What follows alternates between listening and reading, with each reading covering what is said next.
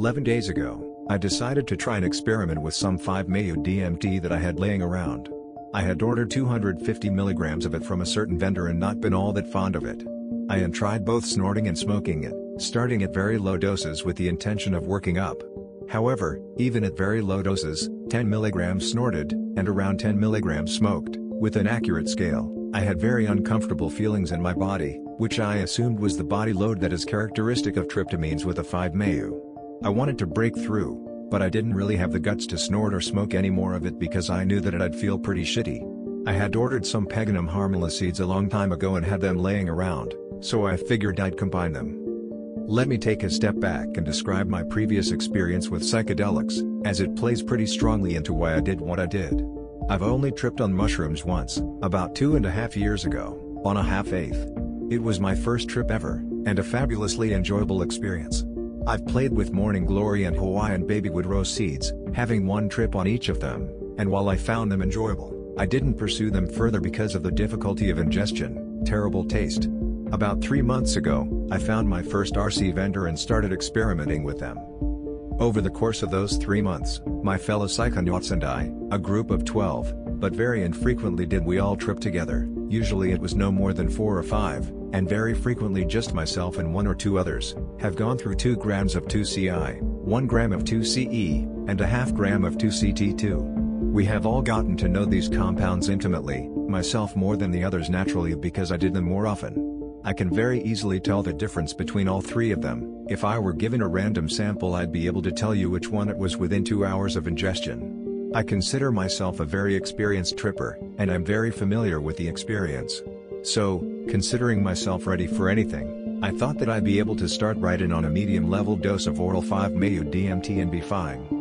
I read up on ayahuasca in TiHKAL, I own the book, and researched online and decided on 5 grams of Peganum harmala seeds and 30 milligrams of 5-MeO DMT. I chose such a high dose of Peganum harmala because I wanted the full, immersive ayahuasca experience, not just enough MAO inhibition to allow the 5-MeO DMT to work. I chose the 30 milligram dose of 5-MeO DMT. I figured I'd go with the middle ground, not too high, but not cautiously low either. I ground up the seeds and put them into gel caps, and it just so happened that they fit perfectly into 10 capsules. I took one capsule every 5 minutes for 50 minutes, and then on the 60th minute I took the 30 mg capsule of 5-MeO DMT. Within a half hour of beginning my ingestion, I thought that I was off baseline a little, and thought that I might be seeing some patterning, but I wasn't really sure, and I also felt totally normal. Was I tripping? Was it placebo? Probably a bit of both, so I decided to stop thinking about it and just let it happen. By the time I took my last Peganum Harmala capsule, the patterning was definitely there but it wasn't very intense, and I had to look for it. It was with great anticipation that I took the 5-MeO DMT capsule. Within 5 minutes of taking it, I was feeling something. I had an empty stomach, so it didn't surprise me. I felt the same uncomfortable feeling in my head that I felt when smoking and snorting it, the exact feeling I was hoping to avoid by taking it orally. Why I thought it wouldn't be there orally I'm not sure, but it made sense at the time. That kind of irked me but I figured that if I was already feeling that at 5 minutes, there would be no doubt that I was going to break through, which is what I wanted. 10 minutes after taking the capsule, I was feeling pretty sick and tripping pretty hard. I was in a very strange headspace, one I've never been in before. I was perfectly normal, but yet I was absolutely, totally gone. I knew there would be no way for me to walk home. I decided to go and lay down somewhere. I was at a park so I went to a nearby uninhabited and abandoned school and hid behind some bushes and laid down. At that point, perhaps 15 minutes after taking the 5-MeO DMT, I was tripping harder than I'd ever tripped in my life, and I knew that I had a long way to go. I tried unsuccessfully to make myself vomit. I knew that I had to get the stuff out of me, but it wasn't happening. My visual field was totally altered, colors were vibrant beyond belief, the patterns were so intense that they weren't even there anymore. Everything was made out of fractals. I started to claw at the ground, but I wasn't sure why. I had to do it, it was voluntary, yet I couldn't control it, I couldn't stop it, but I was in control of it. I clawed so hard at the ground that I actually took about an inch and a half of dirt off of an area about a square foot in size. At that point, my memory stops. The next place it picks up, I'm in a different place, still hiding in bushes, having sex. At least, I thought I was having sex, but I wasn't really. I remember thinking wow, I've been waiting all my life for this and it's finally happening. It's pretty awesome, no doubt, but it's not as big a deal as I've worked it up to be. It felt fantastic. Again, my memory stops. I woke up in a hospital bed the next day with an 4 in my arm, absolutely covered in scratches and scrapes that had very painfully scabbed over, and my parents by my side. I had no idea how the scratches got there. While I was laying in the bed, it felt like I was dreaming some very strange dreams. I remember talking to one of my fellow psychonauts, a friend of mine who'd only tripped with me once, on 2CT2. He was talking to me, but I wasn't saying anything back. Hey man, what's up, are you tripping? How much did you take?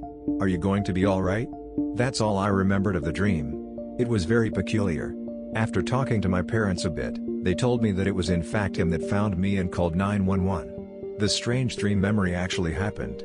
I was astounded by that realization, as it seemed totally unreal. My friend thought I was on 2CI, as it was what I usually had around and shared, and told that to the policeman who arrived before the ambulance.